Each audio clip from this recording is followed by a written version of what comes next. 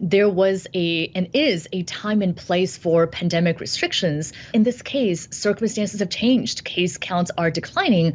Also, the science has changed. Should there be a federal mask mandate? Yeah, at this point, there absolutely should be that mandate because we know that if all of us wear masks, we reduce the chance of transmitting or acquiring COVID 19 by five times. There is a real danger when we politicize science. That public trust is broken when we are politicizing science instead of following scientific process. My kids are not eligible to be vaccinated. It's not that I don't want them to be vaccinated, it's that they can't be. And I do really worry. I mean, I have an almost four year old and a one year old. I cannot wait until they're eligible to receive the vaccine.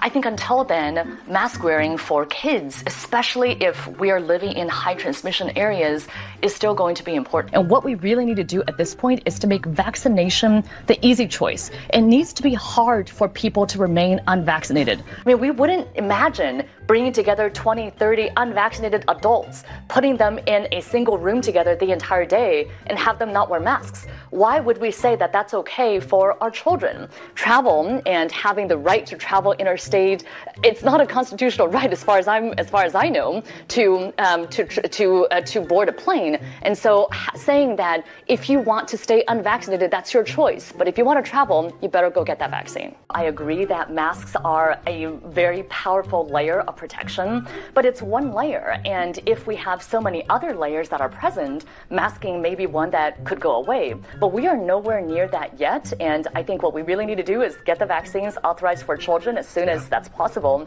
There is no evidence whatsoever for any other vaccine causing long term consequences. We really should be a lot more worried about the virus and the short term as well as long term consequences on our children as opposed to the vaccine. Make sure that you're wearing a, um, a mask, even though it's outdoors. If there are lots of people packed around you, wearing a three ply surgical mask, don't wear a cloth mask. Cloth masks are little more than facial decorations. There actually is a harm that we should be discussing of children continuing to mask. We should also be intellectually honest and say that masking has had a cost, especially for the youngest learners. So the risk benefit calculation has really changed. I'm the mom of two little kids under five. I can't wait until they are vaccinated, but I would wait until we find that the vaccines are safe and effective.